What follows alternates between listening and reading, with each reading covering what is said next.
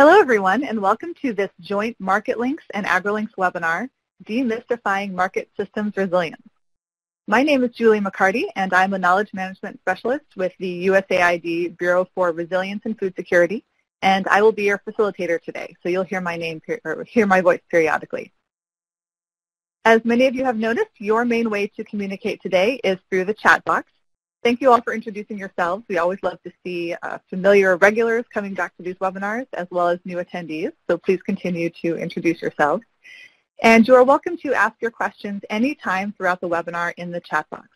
We'll be collecting your questions and we will do our best to answer as many of them as we can during the Q&A portion of the webinar, which will occur after the presentation. We are recording this webinar and by virtue of attending today, you will be on the list to get a post-event email with the recording, the transcripts, and several other post-event resources. So please keep your eyes open for that. And also I wanted to call your attention to a few uh, downloadable files and links that are uh, at the, near the top of your screen, uh, recommended resources that will be mentioned throughout the webinar today. All right, so today we have Tatiana Pulido and Kristin O'Planick from USAID's Bureau for Resilience and Food Security, who will be sharing what we mean by market systems resilience, why it matters for our programming, and what tools are currently available to support measurement. So I'll go ahead and briefly introduce our two speakers, and then I'll pass it over to them. So first up will be Kristin O'Planick, who is a market systems specialist in USAID's Bureau for Resilience and Food Security, where she seeks to advance market systems facilitation throughout the Feed the Future portfolio. And uh, she has worked in a variety of technical areas, including market systems, enterprise and livelihoods development, workforce, food security, agribusiness, rural finance, and sustainable tourism. And if you are a MarketLinks regular, you've probably heard Kristin's voice in the past uh, as a manager for the marketlinks.org project uh, and a previous facilitator for our webinars. And then we will have Tatiana Pulido, who is a monitoring, evaluation, and learning specialist with USAID's Bureau for Resilience and Food Security, with over 10 years of experience leading issues in food security. And in her current position, she supports the design and implements innovation approaches to monitoring, evaluation, and learning, particularly leading the development of market systems measurement in resilience and food security. So I'm excited to pass the mic over to Kristin, and she'll take it away. Kristin?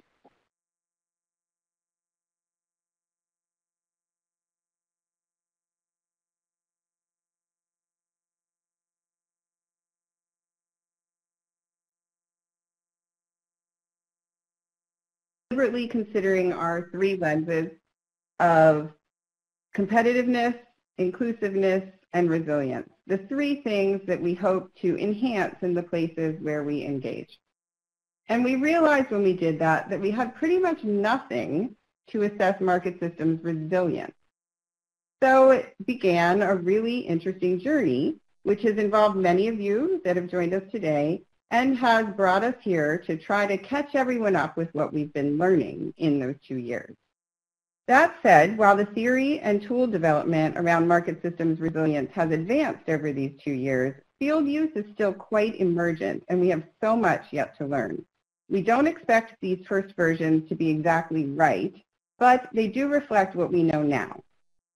We had intended to wait for results from ongoing field research before having a community webinar on this topic, but in light of our current context with COVID-19, the need for understanding the theory and tools has become urgent.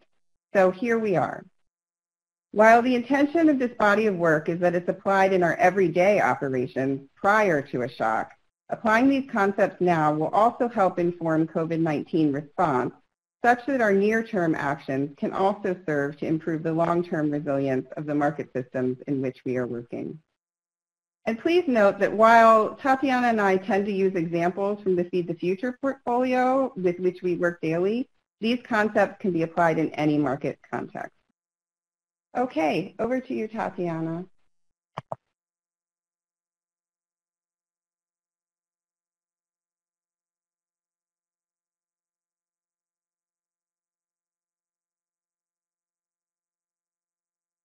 Great. Thank you, Kristin. So what do we mean by market systems resilience? While there is no official USA definition for it, what you see on the slide is a working definition that speaks to the ability of a market system to draw on resources and solve problems in the face of a shock or stress. What's particularly interesting in market systems resilience is that while much emphasis is put on large, rapid onset shocks, such as extreme weather events, in current household and community resilience work, we are seeing initial indications that long-term stressors, such as HIV AIDS, corruption, or migration, can be just as disturbing for the market system. Ultimately, market system resilience is about managing risk to retain that market functionality for the benefit of our target populations. In most places we work, our best proxy to measure the market system is by using firms as the unit of analysis. That's because businesses tend to be the most sensitive to changes in the structures, relationships, and behaviors that govern the market.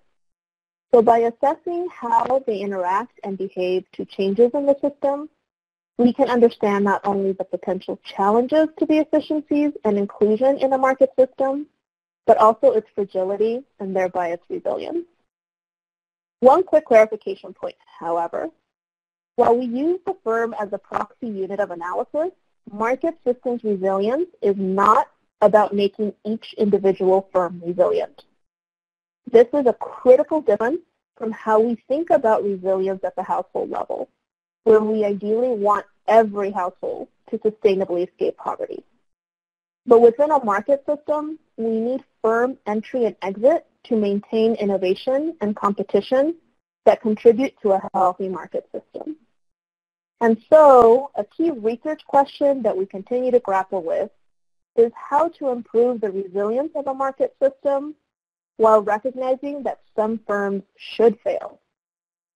Also, a final thought before I turn it back over to Kristin.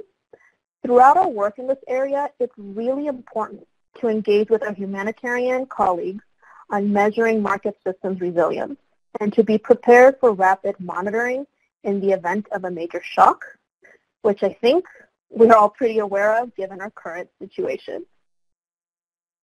Over to you, Kristin. Great.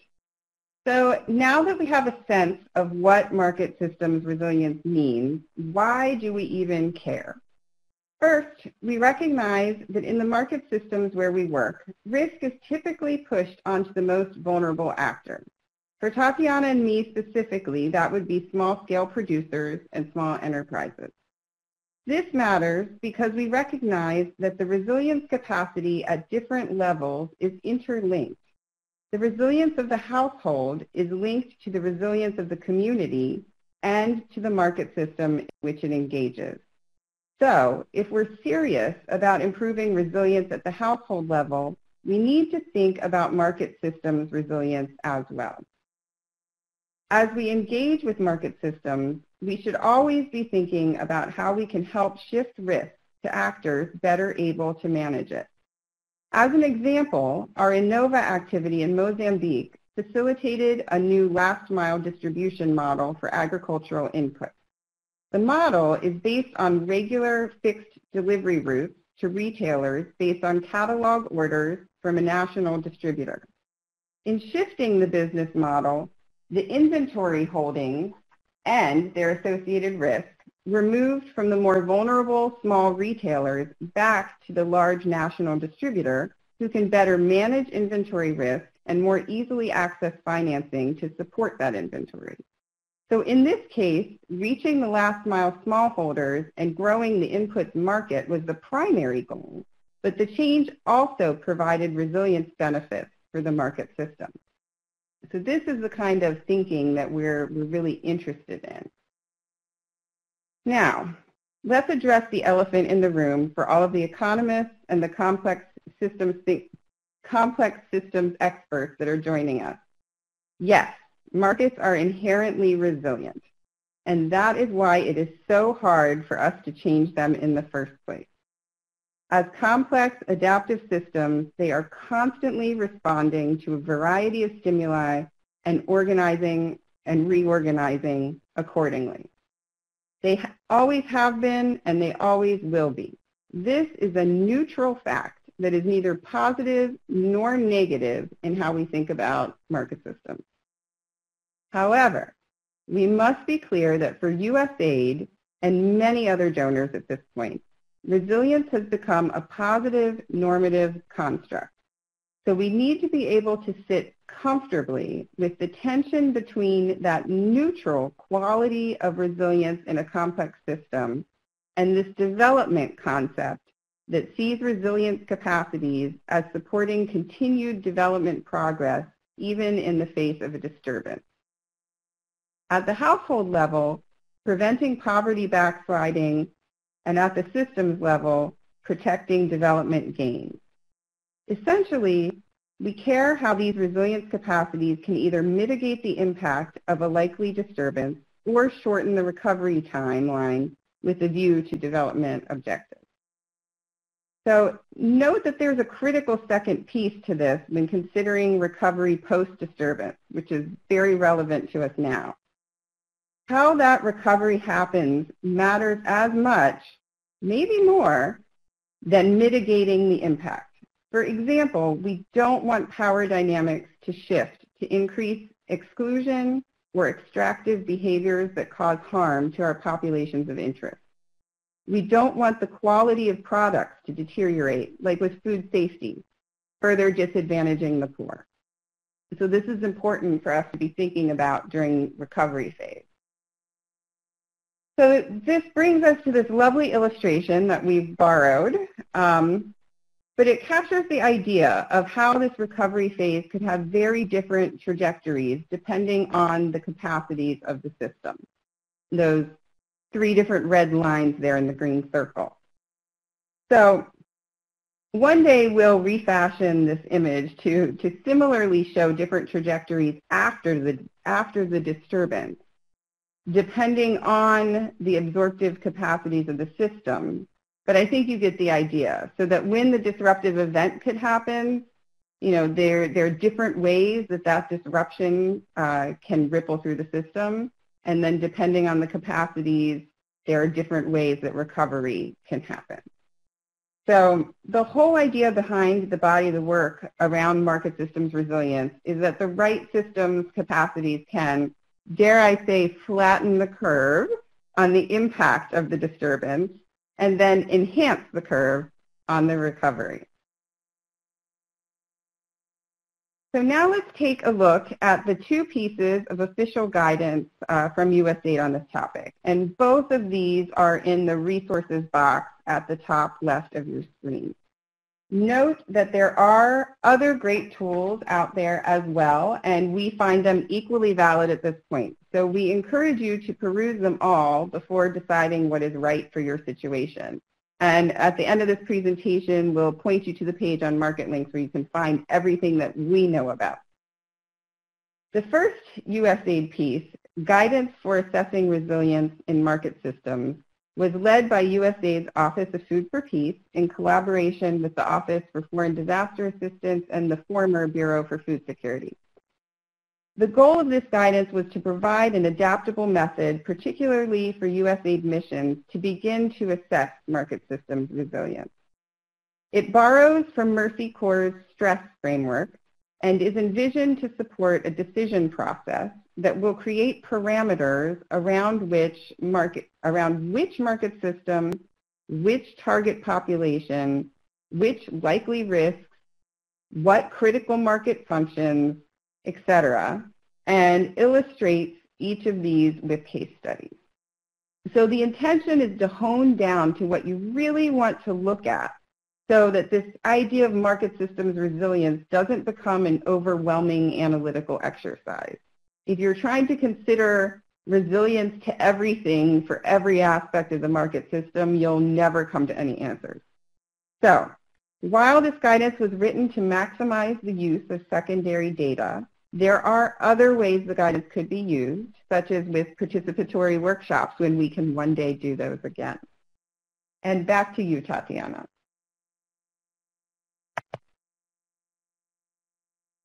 Great.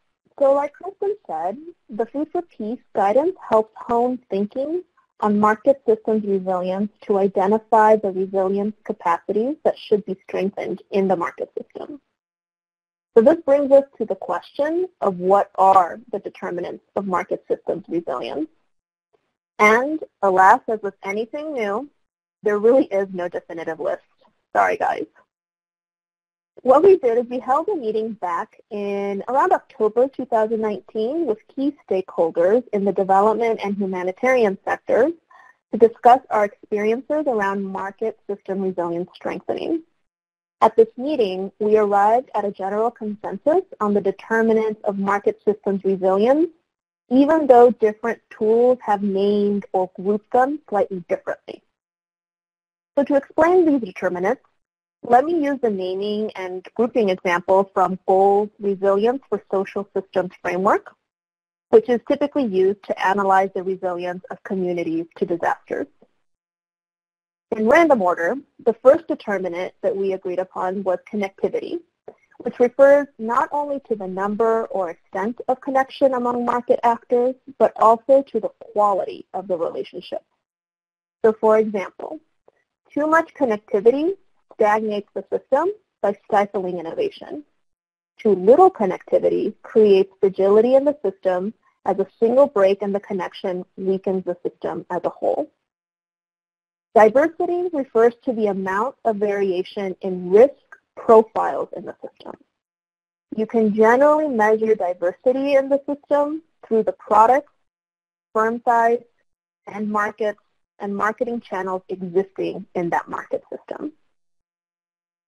Redundancy, the third determinant, is related to diversity.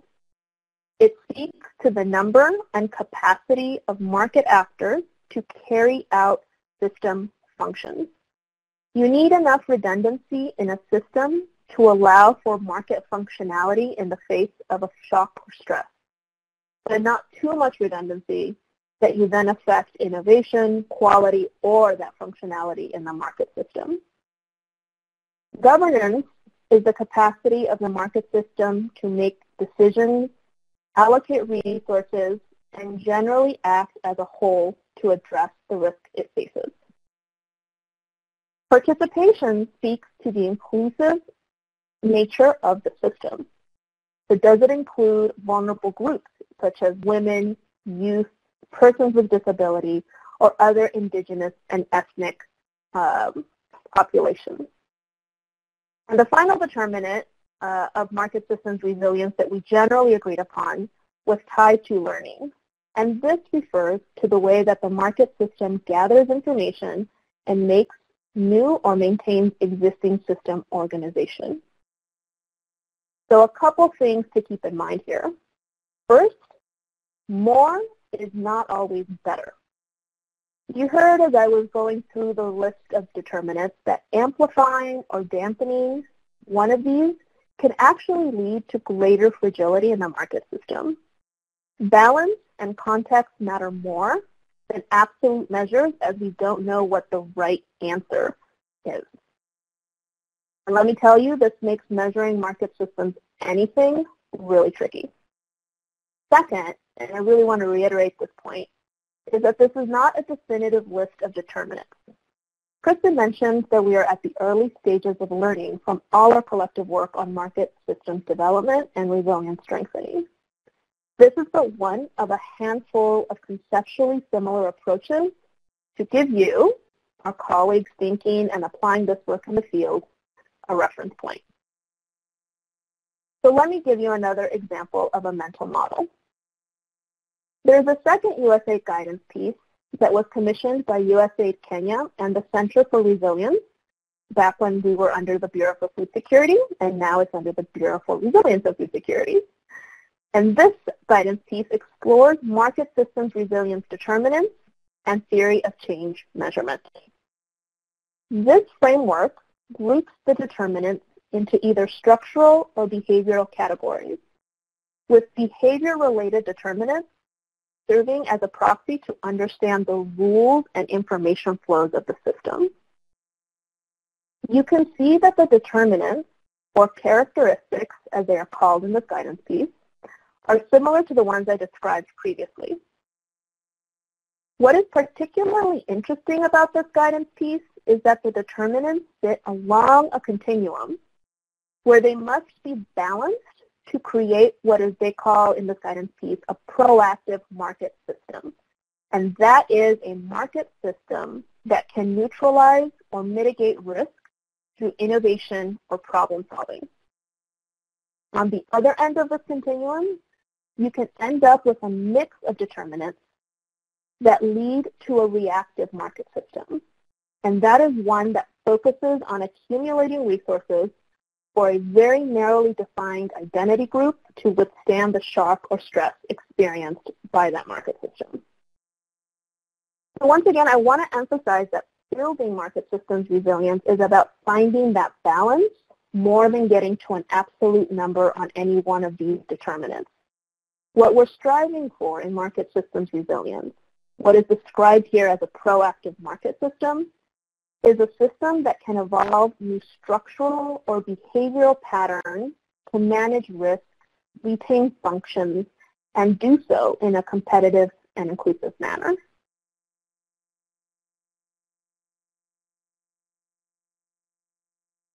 Okay, great. So now that we talked about the concepts and guidance in broad strokes, we want to take a look at some practical examples that we've seen in this space that help translate these concepts into programming. Because as much as I'm sure we all find theory delightful, it, it doesn't make a difference unless it can impact the work on the ground. Um, so this is an example of one that we, we think can be useful for designing activities or during implementation for work planning, for example.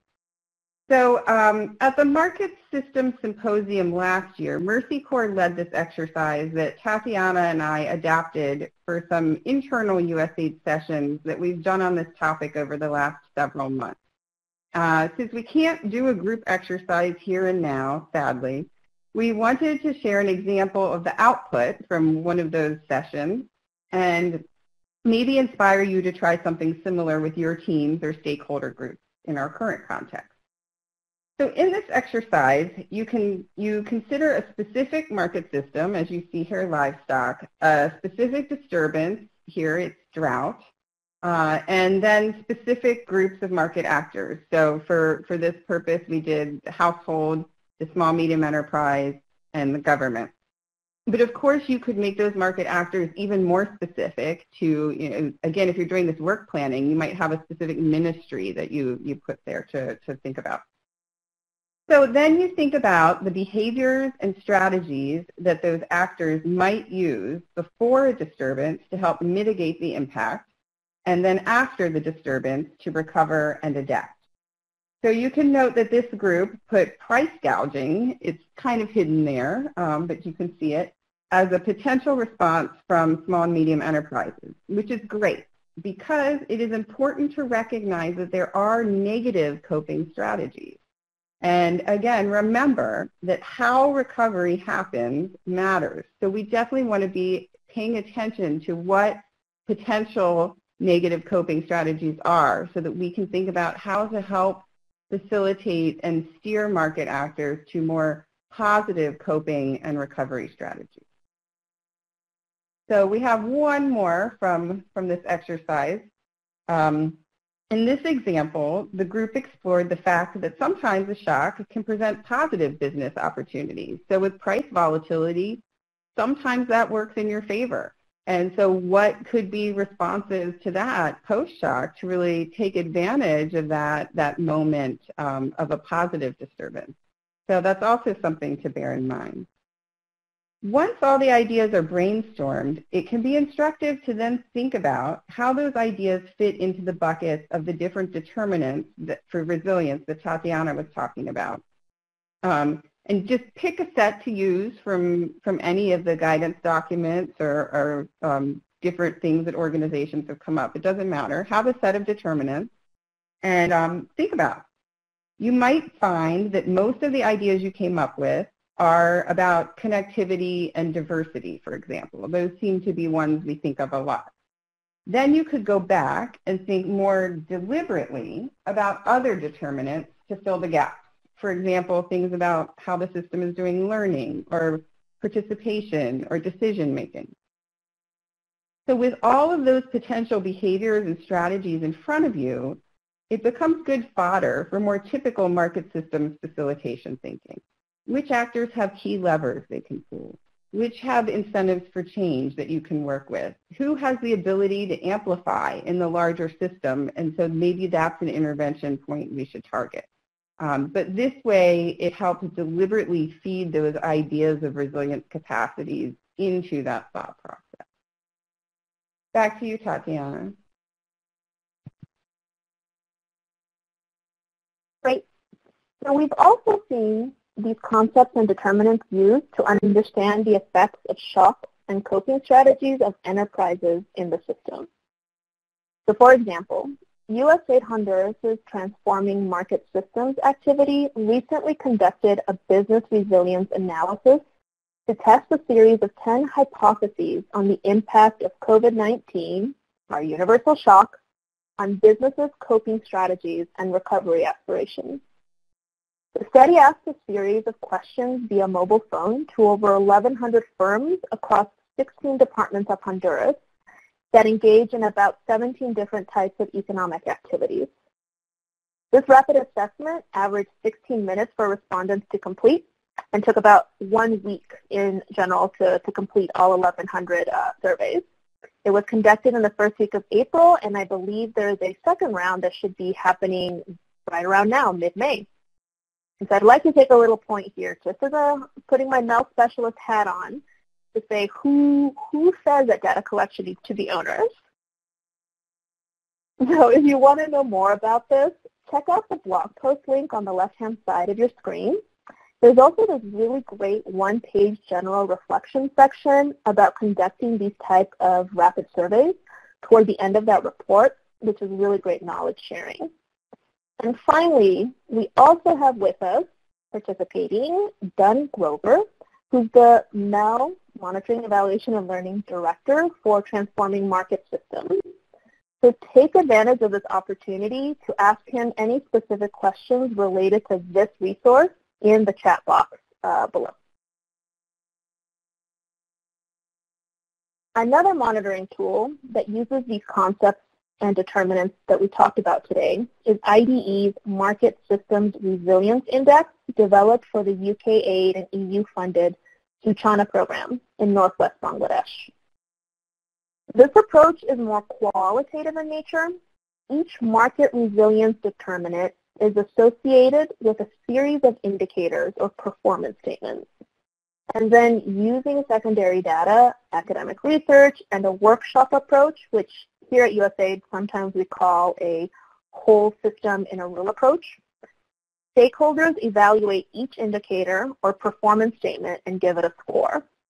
The scores for the indicators or performance statements associated with a determinant are combined to generate an index score for that determinant. I might have lost you, so let me unpack it a little bit more for you. So for example, one of the determinants that we talked about that affects market systems resilience is redundancy. A performance statement used to determine whether there is enough redundancy in Suchana's market system that they're working on asks whether there are multiple market actors providing input services.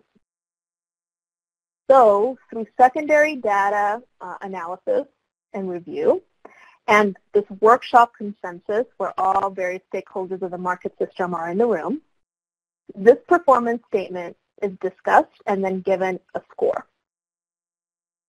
Then once all the indicators and performance statements associated with the redundancy determinant are discussed and scored, they are combined using a weighted average to create an overall index score for redundancy in the market system.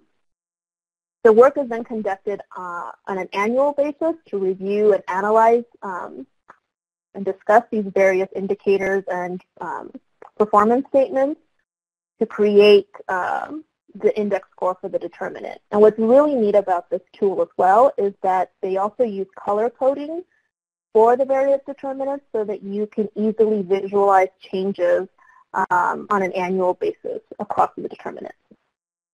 If you're interested in learning more about this tool, you can find the short paper uh, by clicking on the link in the web links box on your left. And we also have with us Chris Nicoletti, who's the Senior Director of Impact and Analytics at IDE. If you would like to pose any specific questions to him in the chat box about this specific tool.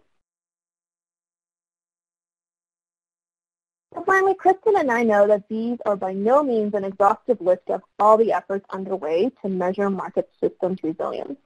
And we encourage you to share your work and experiences. Honestly, this was in part uh, our motivation in doing this webinar with you now. We know of a couple of upcoming uh, sharing events or sharing efforts or upcoming efforts, I should say. So over the next couple of weeks, RTI colleagues will be starting a Marketlinks blog series on their work measuring market systems resilience in Somalia.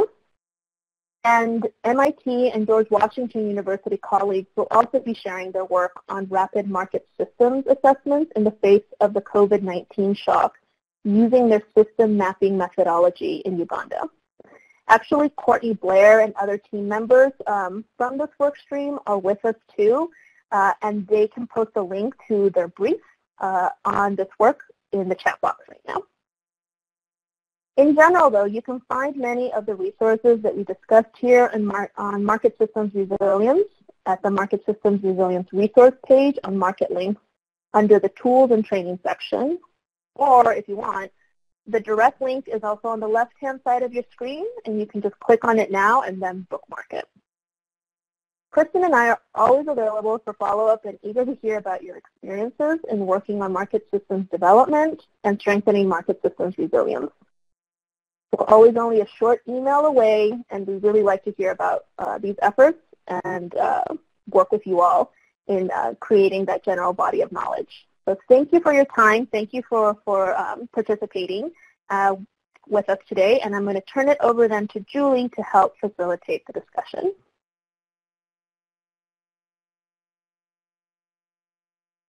Thanks so much, Kristin and Tatiana. And thank you to all of our participants for uh, for, of course, introducing yourselves and to posting some great questions in the chat box. We have a good amount of time now to dive into answering questions and to discussing these topics. Uh, so I think we'll go ahead and, and dive in. Let's see. So I'm going to start with a fairly uh, straightforward and blunt question posed by Gary on defining market systems resilience. And Gary says, the concepts and determinants make sense, but make for a very complex analytical framework. How is achieving market systems resilience any different from simply strengthening the market system? Is it essentially looking at broader production marketing systems rather than individual market chains, which maybe by definition uh, are more vulnerable? That is a great question. Um, and one that we have grappled with and been asked in every discussion when we've talked about this. So wonderful. Um, I think the key is that if you take the three lenses of competitive, inclusive, and resilient, as from a de development perspective, the, the ways in which we are trying to improve a market system um, for development outcomes, what we find is that when we think about more traditional ideas of, of market system strengthening, those tend to hew more towards sales um, and employment and growth from a more competitiveness uh, perspective. So if you if you go ask a business and talk to them about you know what isn't working for them, what are their constraints, uh, they always give you those answers that that really relate more towards those competitiveness aspects. You know, access to finance, always. Um, not finding the right workforce uh, with the right skills. We, we know all those answers already. Um, but if you go and ask them more specifically about what do they see as their primary risk and make the conversation about risk, you get different answers. And this really kind of hit us over the head um, when we heard about some of the findings of doing this from, from the Honduras TMS project, uh, which is one of the first that really kind of had these deliberate conversations with businesses about risk and not about growth. And what you find is that businesses make very deliberate decisions vis-a-vis risk that may actually hurt their competitiveness, but they find that making those decisions toward resilience matter more. And I'm sure we could find examples of this in our current context too. So I think this is how we get to the idea that there is a difference if you are talking in generalities about improving the market system, particularly from a Western mental model. Um, we're always thinking about profits and growth. Um, and if you go in with a very deliberate risk lens, you find different things than you may have otherwise. And that is why we are parsing this out as a specific conversation even though I think theoretically you're right. You know, all of these things fold up into the idea of a stronger, better market system. But until we pull them apart and think about them deliberately, we overlook them. You know, the same can be said about inclusion. I don't know if you have something to add to that, Tatiana. No, I think you hit it right on the head. I think it's really about um, remembering that this is resilience is one of three lenses by which we measure the health or look at the health of the market system.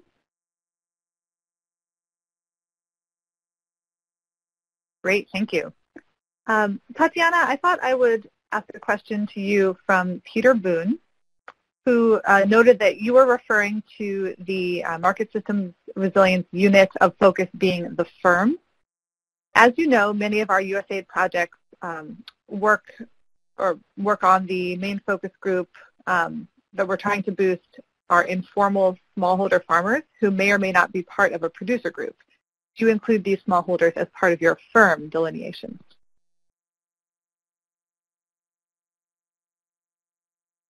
Yeah, Peter, so typically we don't include the smallholder farmer as a firm two ways. One, um, they're typically not included as an SME definition, and that's really kind of where we're drawing the cutoff point. The reason why is because we are finding through um, the work and the research that we do on resilience at household and community level resilience, and the work that we do on market systems level resilience with firms and other enterprises that are probably higher up in the value chain or what have you, that there are different incentive structures um, that play into account in the decision-making structure um, of both the smallholder farmer and then others who are uh, firms or enterprises that are much more commercially oriented. And so that's where, generally speaking, in the research that we're doing and what I'm seeing um, come across, you know, my inbox, is how the delineation um, is occurring and why. Great, thank you. Um, I'll pose another question to you, Tatiana, that came in uh, during your portion of the presentation from Indra Klein, who had a question on the redundancy uh, aspect in the list of market system capabilities that you shared. Uh, what metrics were or are used to assess redundancy, and to what degree is action taken?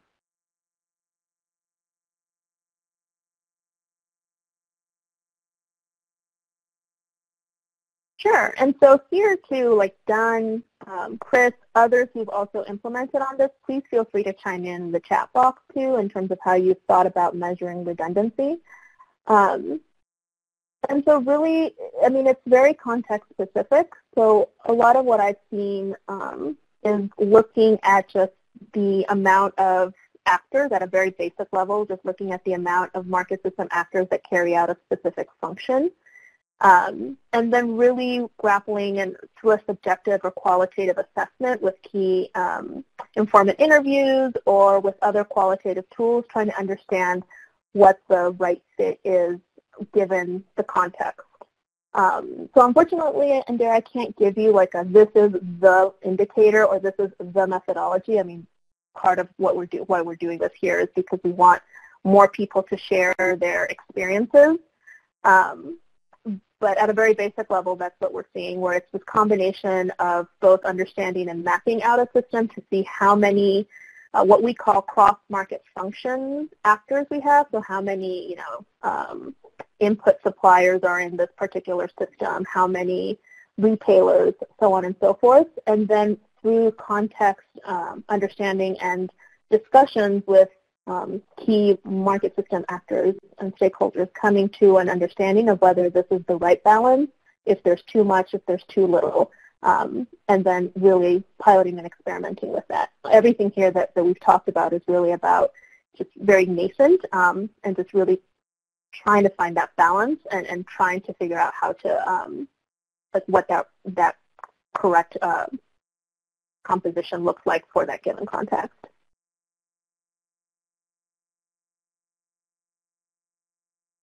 Great, thank you. Uh, let's see. A question came in from David who asked about how financial services and microfinance institutions play a role. What are the potential trade-offs of focusing on credit for smallholder producers and middlemen to build market resilience? I mean, my, my response to that would be that it's really going to depend on your specific market context. And I think that's the key with so much of this. Um, and part of why we, we really were interested in um, the first piece of USAID guidance that we, we talked about to really kind of force some decision making around setting parameters um, and specificity of what you're looking at and what you're trying to change and for which target population. Because depending on how you set those parameters, I think the answer to that question could be completely different. Um, so given the specific situation and the goals that you are trying to achieve, that may be really important or less important. Um, and depending on the market, that may be something that, that isn't the, uh, the biggest constraint um, or problem, or it may be something that is a very critical leverage point. So that, that definitely gets an it depends response.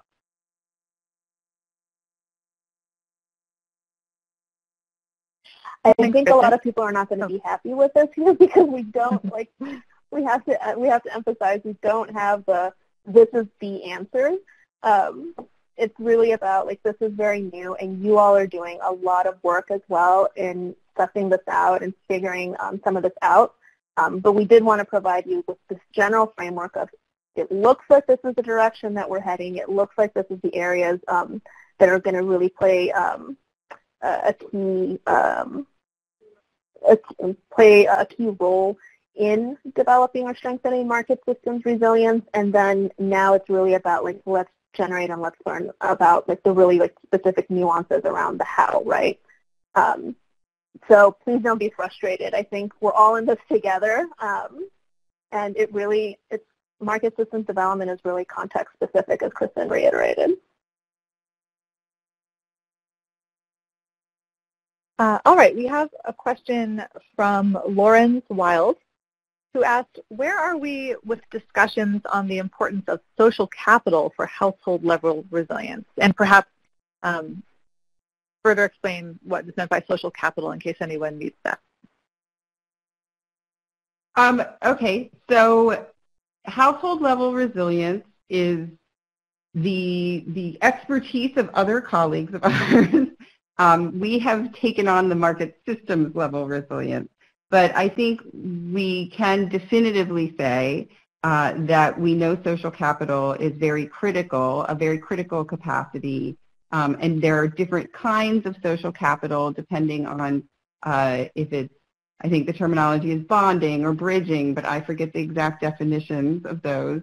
Um, but it's basically about your social connectedness um, within community groups or familial groups or ethnic groups and then social connectedness outside and across to, to other groups. And that both kinds matter again depending on the specificity of cultural context, place, depending on the type of shock that household is experiencing, depending on if the household is experiencing a shock that is uh, a covariate shock that affects everybody in the community or if it's an idiosyncratic shock that affects only that household.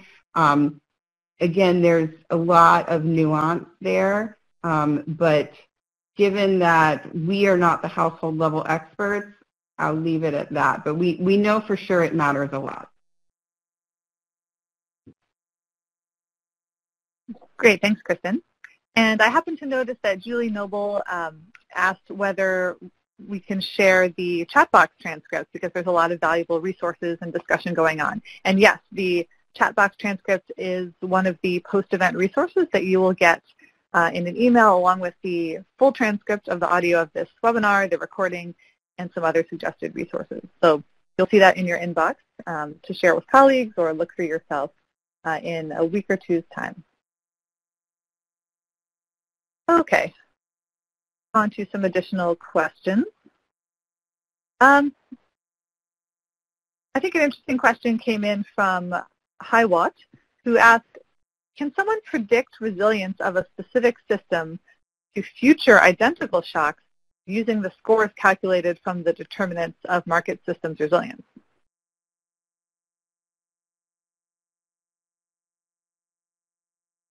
The short answer to that right now is no, we can't.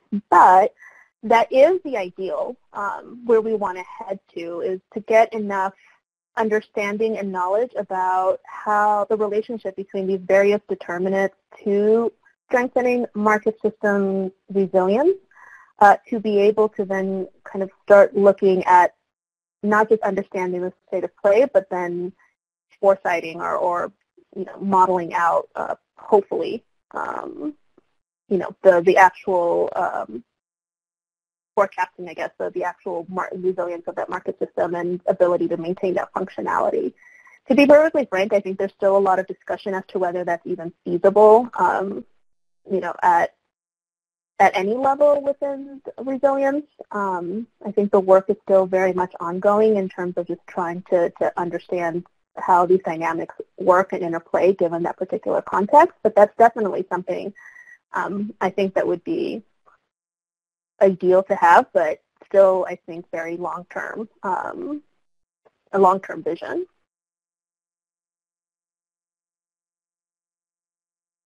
Great. Thank you, Tatiana. Uh, I also wanted to uh, pose a question from Sarah Ward, who asked something that is probably on many attendees' minds.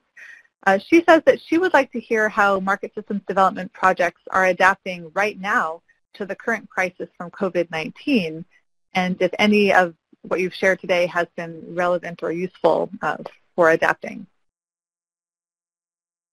That is a great question. Um, and this is actually something we're interested in as well. so please let us know.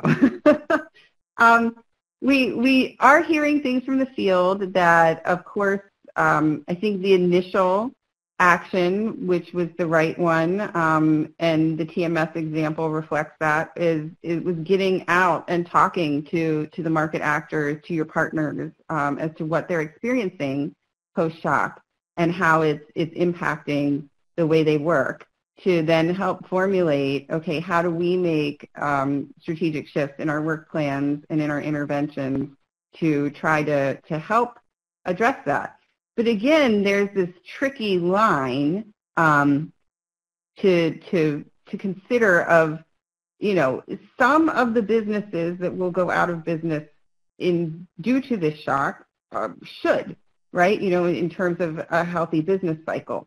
Um, but certainly not all of them should. You know, this, this shock is at a much larger level than the ones that we usually are thinking about when we do this. And the fact that it's global is very unusual because typically the shocks we consider might be regional in nature, um, but not beyond that. So there are a lot of unknowns given the global nature and the fact that every market system is being impacted somewhat similarly. Um, and trying to think through what does that mean for our response tactics has put us in in a stance to very much need to learn as we go. Um, and I think that's okay. And so that's part of why we wanted to put this out now as this topic in the hopes that some of these things will be useful as people start figuring out, based on the assessment of the, the their partners, uh, where, where to go from here. Uh, but I can't say that we're seeing any uniform way forward at this point, but we're very interested in hearing what people are doing. And I'm sure folks in the chat box that are on the ground, uh, please feel free to, to respond to this question. If you've made some decisions about your, your own pivots, uh, do share.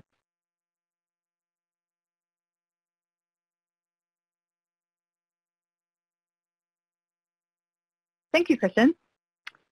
Um, let's see, going back a bit to, uh, to defining market systems resilience, from Mamadou Dabo, what is the difference between market for poor and market systems resilience?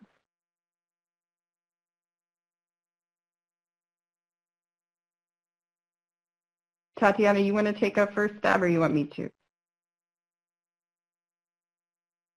Uh, go for it. I can talk about it in terms of the from the MEL standpoint. Yeah. So, I mean, I think it depends. And again, uh, of the different resources that are out there, um, they're they're pitched a bit differently. So this idea of how inclusion relates to resilience, I think, is an, uh, one of the many areas we have for learning yet. Uh, there are definitely uh, approaches within this space that see the two as very much intertwined. Um, and of course, from a development perspective, we're always equally interested in inclusion as we are with resilience. Um, I think our current focus is try to, to, to try to put the idea of resilience at parity with inclusion and competitiveness so that we're always thinking about the three equally. Um, and understanding that there, there could be trade-offs between those three. I think we've definitely seen um, trade-offs between competitiveness and resilience. And, and again, Honduras had some nice concrete examples of that where firms took deliberate actions um, to avoid certain risks, but full well knowing it hurt their global competitiveness, you know, in the coffee sector, for example.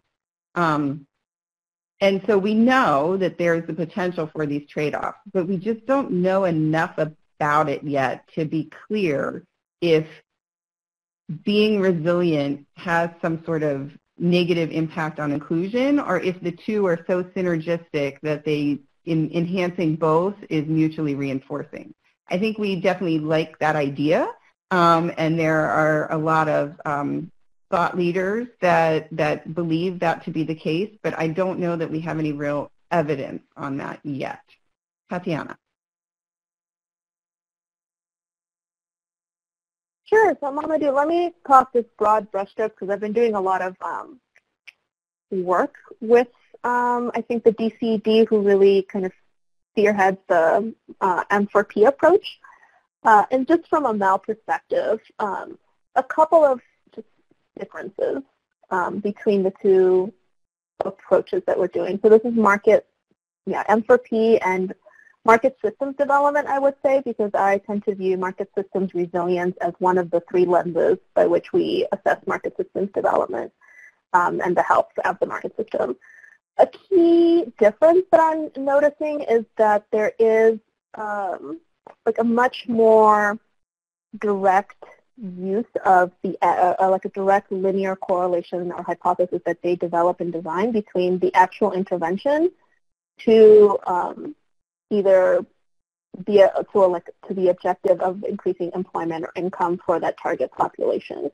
Um, and so they're looking at like a very like a results chain and using a lot of that just direct linear um, association and relationship in terms of understanding how to implement their interventions um, and measure that, that impact. I think with the way that we tend to think about market systems development and where we have a lot of discussions around uh, in USAID is whether or not that's actually feasible given the properties of a complex system, which you know are emergent, meaning that we know that things add up um, and the different parts somehow influence the the overall structure and behavior of the system, but we're not necessarily sure if it's that linear um, or that clear cut. And so I think that's an area where we continue to, to engage or to think about um, in that way. And so from a, from a MEL perspective, it's, it's slightly, like it's a very, very small nuance in terms of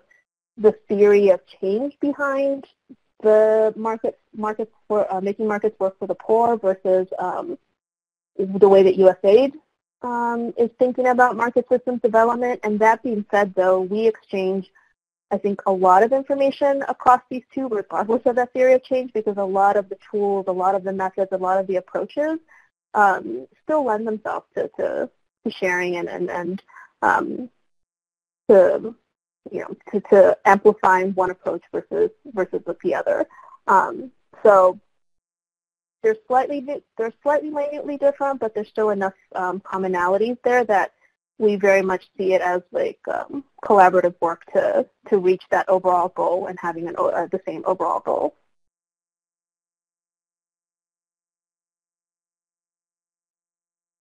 Great, very interesting. Thank you, Tatiana and Kristin.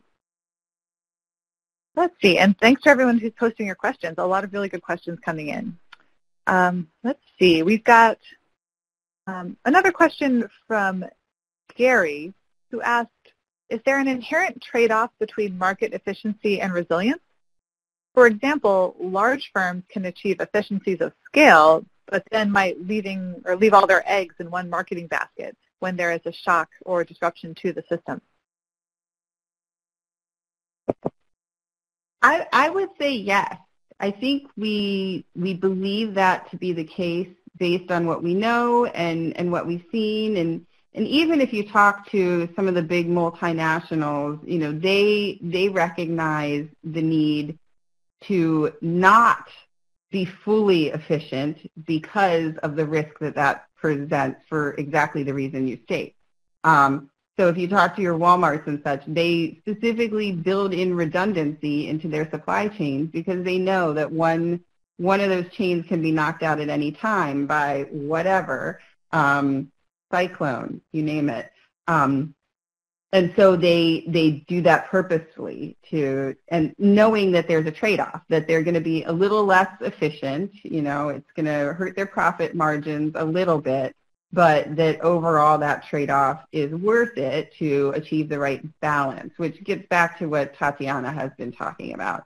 This is about trying to to find a balance um, in the market system such that you know and, and i saw a comment about you know, propping up things that should go away, which is exactly our point. There is a normal business cycle. There should be businesses that fail. There should be turnover. There should be innovation. There should be entry and exit. Absolutely. We do not want the idea of market systems resilience to hinder that. But it is more about thinking, how do we protect development progress that has been made over the last decade or more um, given that the size of certain disturbances is, is becoming greater, or we're seeing these long-term stressors like out-migration just devastating economies. Um, and thinking through how do we how do we find that balance between maintaining the progress that's been made but still allowing for that natural cycle of, of creative destruction and innovation? Uh, and again, there's no perfect answer to that, but you need to remain cognizant of that tension.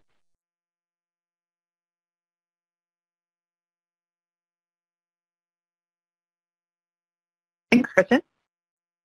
All right, a question from Julie Noble from IESC. In the exercise that you shared as an example in the presentation, you had three groups, smallholders, SMEs, and government. Uh, was there a reason that you did not include other groups such as lead firms, buyers, input suppliers, financial institutions, and other key market systems actors? Yes. We only had 20 minutes to do the exercise. Good answer. and, and, and we were also we we deliberately left those buckets big and i also saw some comments about you know like for example livestock sector is probably too big to really be useful I agree. Um, this was more of a training exercise to get people familiar with the concept. Um, and it wasn't an explicit kind of work planning exercise. So if you would adapt this for your work planning, please be much more specific than that.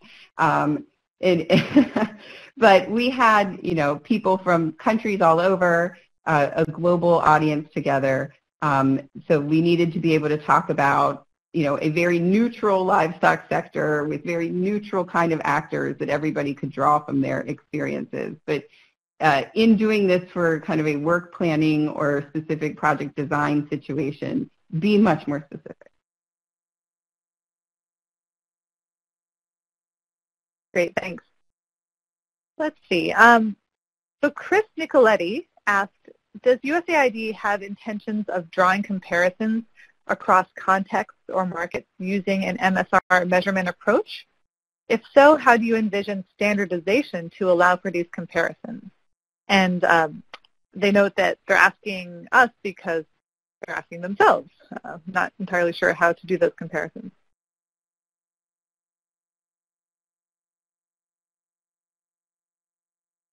So the quick answer is no. We are nowhere near thinking about that um, or have even discussed that yet because again like it's so context specific and the work that we're doing is so um, nascent. And so what we're really trying to do here is build these resources and these tools and this um, um, approach to market systems resilience. One as Kristin mentioned because when we were looking back at all the work that USAID had done around market systems development, this was one of those three lenses that um, didn't have a lot there. So we were like, oh gosh, like we really want to build that up. Um, but two, also um, really building um, building up the, the tool set from the ground up. And so if it comes to a point where we have we understand enough that we are able to have a tool or, or um, you know, control for change or variability in the various contexts that we work in? Perhaps. I mean, perhaps. But in general, I think overall into the future and stuff like that, we try to just, and I know I say this and then people take it with a grain of salt, but it is true as a MEL specialist. We try to then just look at individual country or individual context specifically in terms of measuring that progress against benchmarking against themselves, basically. Um, because it's just very hard to standardize um, this type of work across countries um, and then put some sort of subjective value in terms of progress or not um, across countries given just how context specific this work is. So we, Nick, um, or Chris, we haven't, um, we haven't um, really touch that or even discuss anything like that. We're very much just at the beginning in terms of trying to build these resources and tools up and then hopefully as a community come to an agreement and consensus in terms of what really makes sense and at what level does standardization make sense um, for measuring um, market systems resilience.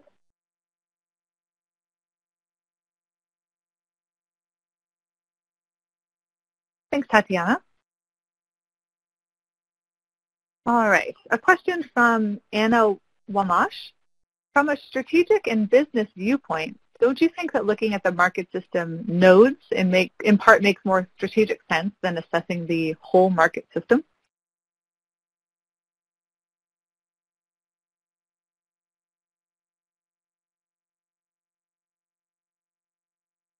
Tatiana, you want to take that one? sure. Um, I think yes and no. I think one of the things I would also ask Anna there is just going back to this research question that we grapple with, if we really focus on the node, and for me the node is really the unit, right, uh, or the actor, um, you know, some of them, like in a market, are supposed to fail. Some firms, let's say, are supposed to fail. And so how do we grapple with understanding um, and incorporating that aspect of uh, the health of a market system with um, with just been focusing on the nodes because again we're not really trying to amplify or ensure that every node um, is functioning to its maximum cap, uh, capacity because part of the I guess um, overall health of that system would be um, that some of those nodes would need to disappear. Um, and so that's been, I think that's what I was trying to allude to earlier on in the presentation of that's been a bit tricky to understand, like when is that normal and when is that not. Um, and then the other thing too is also trying to take a step back and understand the market system comes from a place where there's a theory around complex adaptive systems about emergent behaviors that arise at a systems level um, that if you study just the individual node, you will miss. And so there are behaviors and other characteristics and structures that occur naturally that don't have a one-to-one relationship with the actual components of, um, let's say, that, com that complex system, such as a market system. Um, and that's also the part where we at like in USAID are really trying to like suss out and understand if, if that that theory applies to market systems development as a complex system. Um, does it not? And that's a lot of to what I was alluding to earlier with um, uh, trying to answer Mamadi's question, that there's that slight nuance and difference between the way that uh, M4P and the DCED tend to view working in market systems development space and the way that we do. It's they they believe that yes, you can. Um, if you just work with a node and, and enhance uh, enhance that ability, then that that will that benefit will be replicated and trickle out um, and create a, a, a, response to then improve the market system. Uh, and we're saying that mm, it might not be that that clear cut and that direct.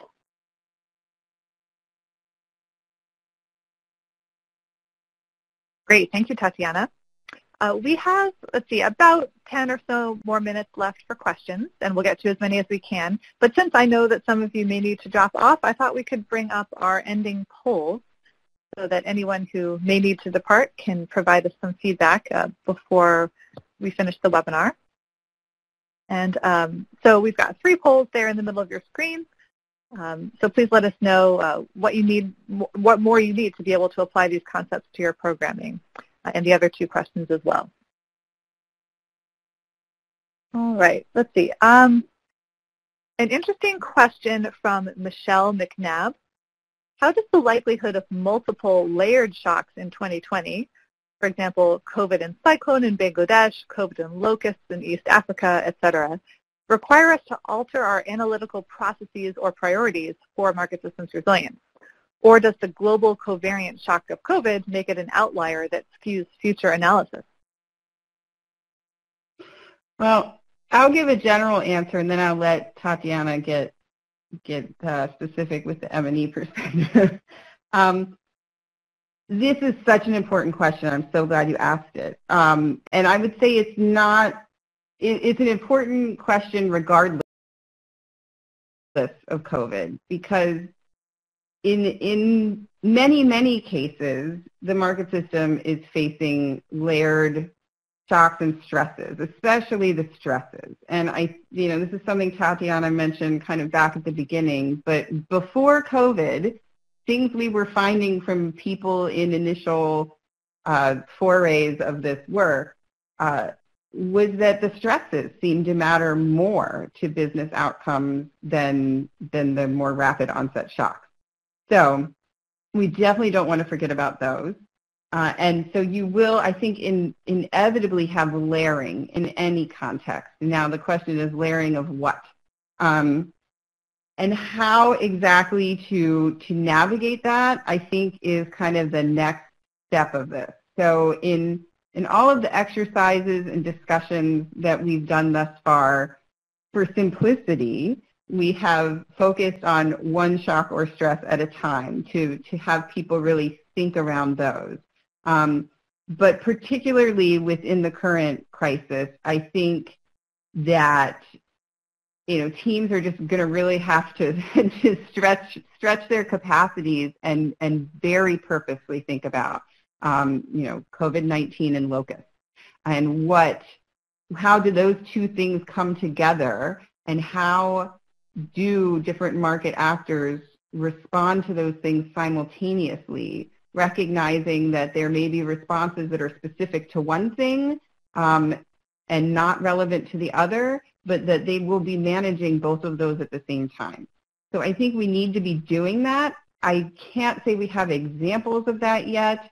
Um, done, Chris, if you've got something in the chat box to add um, it, where, where you may have done some things like that, but from more of a, a learning, training, exercise perspective, um, we've always just stuck with looking at one thing at a time um, just to really help help people move forward. But the reality of how this needs to be implemented is likely going to be in a layered shock and stress situation. Tatiana?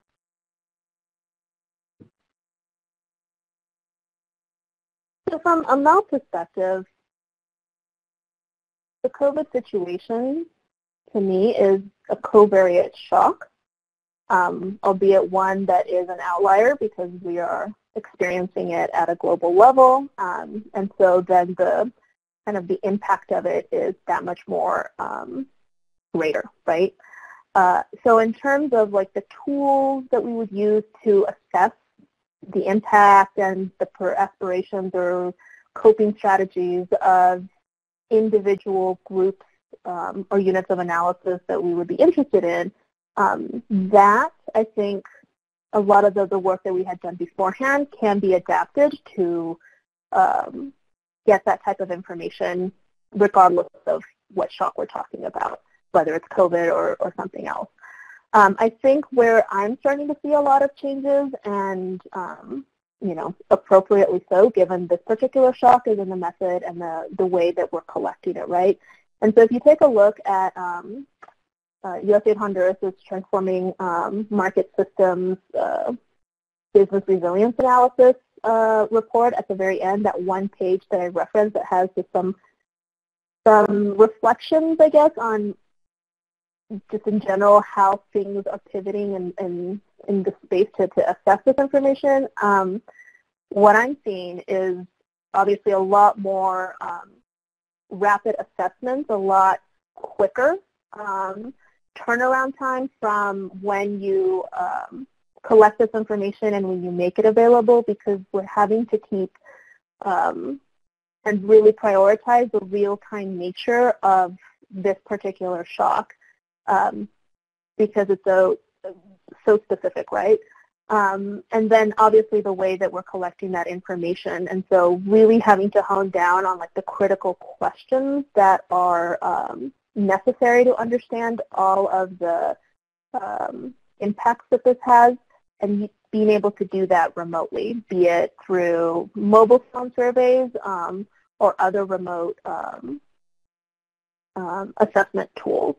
Um, so that's really where I'm starting to see changes in this. And I think in general, it's going to be really interesting um, after we, you know, get our feet under us a little bit more um, as a community to come back and reflect on this experience in terms of doing rapid assessments and collecting information um, for this particular shock and see where we come out with in terms of what was most useful um, in those processes and what could have been improved. Um, and I'm thinking that I'm thinking that the, a lot of the discussion is going to revolve around like needing these quick, quick, quick, quick feedback loops and the frequency by which we need to be collecting this information and updating this information, and at what point do we stop?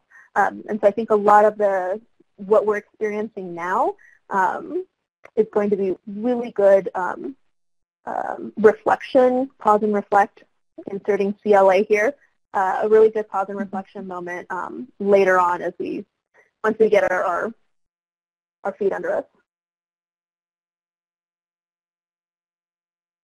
Thanks, Tatiana. Um, I think it's pretty clear that we need to find or continue to have some great venues for continuing the conversation here because we've had so many great questions and comments in the chat box and we weren't able to answer all of them today. Um, but I think there's value. We'll definitely be taking a look at them uh, and uh, continuing the conversation as much as we can. Let's see. I think that we will have one, or what I'll do is ask one more audience question, and then we'll have some final wrap-up words for those of you can, who can stay a few more minutes. And so our last question for right now is from Russ Webster.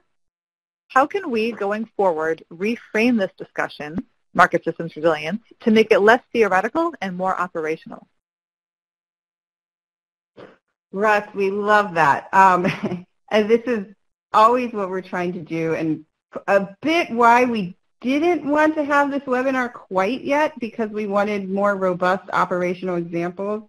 Um, but again, COVID-19 has kind of forced our hand.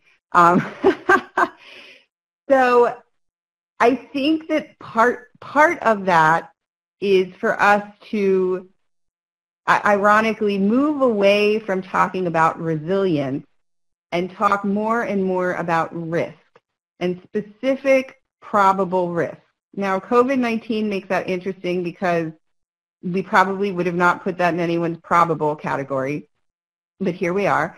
Um, so I, I think that as people take these concepts and move them into the operational space, talking more and more about risk and less about the concept of resilience really helps make that operational shift.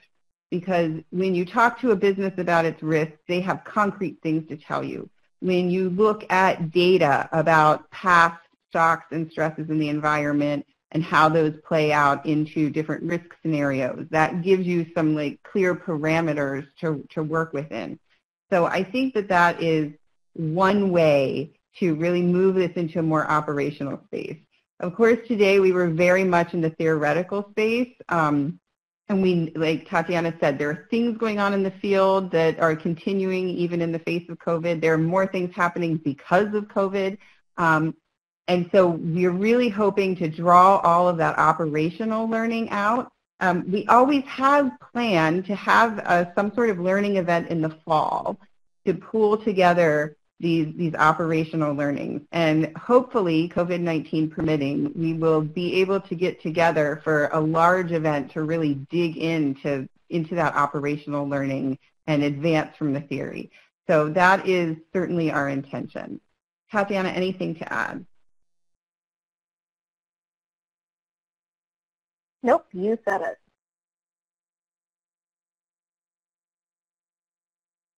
Great. Thank you both so much. Uh, so just in terms of, of final final points, I, I, want to reiterate, I feel like much of this audience was our, our development um, colleagues. I definitely saw a few humanitarians in there. Um, but again, reminder that please, you know, we might be talking a lot to our humanitarian colleagues right now because of COVID, but it's not necessarily something we do in, in a normal time and space, but we should be in terms of thinking about risk and thinking about recovery and what they have learned from really being on the front lines of that for so long. It really can help inform what we're doing. Um, and then also bearing in mind that while we need to build those connections with them and the understanding and coordination and communication, we are not asking our development assistance partners to become humanitarians. Um, that is not your expertise, and we don't want to pull you away from the development things that you are doing, but we want you to inform the development things that you are doing by this consideration of risk and, and what it means for your development activities. And when you are operating in a post-shock space, to bear that in mind, um, that doesn't mean that post-shock, now we want you to just make grants to a whole lot of businesses because you're trying to play humanitarian to help them survive. Um, you might need to do some strategic things of that nature for certain leverage points in a system, but we still want you to approach things as a development actor with a development lens, informed by the humanitarian perspective, if that, if that makes sense. Um, and of course, we are, we are wading our way forward um, and learning so much as we go in this, but maintain that, um, that strategic perspective uh, as you do this. Um, and Tatiana, any final remarks from you? Just two. One, to remember that market systems resilience is one lens of three, including inclusion and competitiveness, that we use to measure the health of a market system, right? So keep that in mind as you're developing systems or, assess or assessments, right, that it is one component of three, so you don't want to create an overly complicated, um, time-intensive approach to assessing and measuring and implementing this one aspect of a much greater um, development objective that we have in strengthening um, the health of the market system. And then just really encouraging you all um, to keep sharing your experiences through Marketlinks um, with Kristin and myself. I think the more and more that we're able to, to pool these resources and build um, this this approach and the toolkit uh, together, the more effective uh, it will be. Wonderful. Thank you so much to you both, and thank you to our participants for your rich participation in the webinar today. Just a couple of quick, quick announcements before we wrap up. Um, join MarketLinks on June 4th for a USAID webinar on, keep, on keeping firms and supply chains afloat in the age of COVID-19. This webinar will share challenges that USAID and partners are facing during this pandemic, and speakers from the field will discuss how they are reorienting programming. So keep your eyes on your email for that. And also AgriLinks is planning actually three webinars in June. There's been a lot of uh, uptick in demand for webinars lately, as you might imagine. So AgriLinks will be covering seed systems, fall armyworm, and market-based ag technology scaling. Those have not been announced yet, but that's the plan. So if you're on the AgriLinks mailing list, you will get those announcements as well. Um, and then also uh, sometime in the fall, we are also expecting to share some research findings from the field using the methods that you uh, learned about today. So thank you all very much for joining. Have a great rest of your day, and we'll see you on future Market Links and AgriLinks webinars. Take care.